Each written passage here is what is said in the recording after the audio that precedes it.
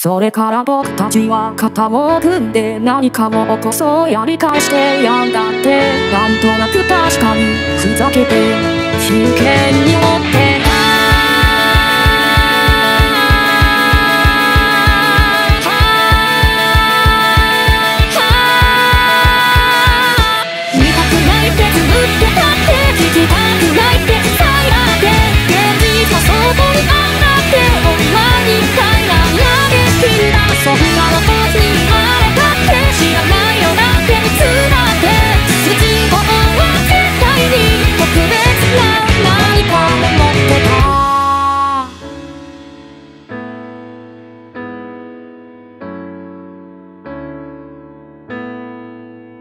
それから僕たちは別々の道未来は平凡京浜点平凡線足はそのえてさ大人の階段を登るそれが耐えられなく手投げ出して逃げ出してこの俺を掴ん。だこじらせて明かした表